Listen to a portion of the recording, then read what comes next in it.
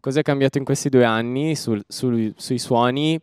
Tanto, nel senso che nel secondo disco in memoria che appunto è uscito questo anno abbiamo sicuramente dato più valore alla scrittura, quindi forse le produzioni hanno fatto un passo indietro mentre in Anatomia Cristallo era la produzione allo stesso livello della voce, del songwriting, forse questa volta no.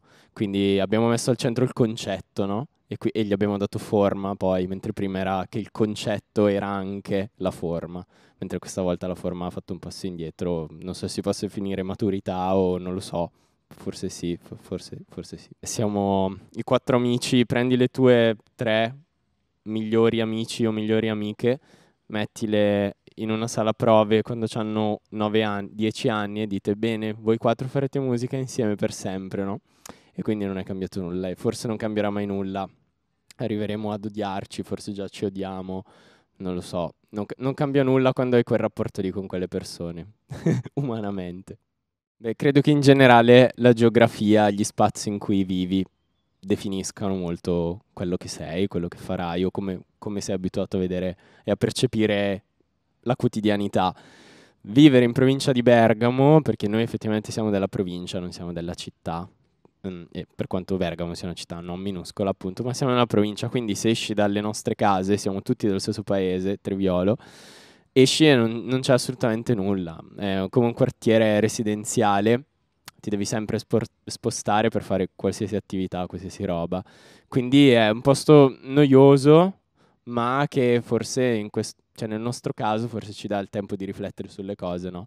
Che comunque, anche perché poi Bergamo è un po' strano perché è talmente vicino a Milano che è come se sentisse sempre addosso il peso di un buco nero, no? Che ti dice tu vieni, vieni, ti sto corteggiando, vieni.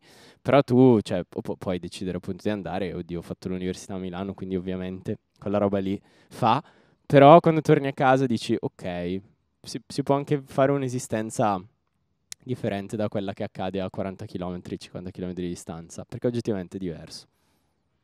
Non è cambiato nulla, sinceramente, nel senso che non abbiamo pressioni diverse, non abbiamo pareri diversi rispetto a quello che noi proponiamo. Noi arriviamo con delle idee molto chiare, forse, forse la roba necessaria e utile è avere le idee chiare, personali poi devi andare dagli altri, come sempre nella vita, come in ogni roba, e convincerli che quella idea lì è giusta.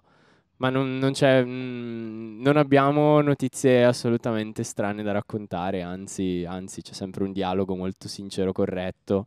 Forse anche perché pretendiamo, e l'abbiamo detto dal primo istante, che la musica fosse messa prima. Tutto il resto sì, è necessario, è fondamentale, ci pensiamo tantissimo a come viene comunicata una roba, perché guai è parte fondamentale, ma la musica sta prima, se no non faremmo musica, no?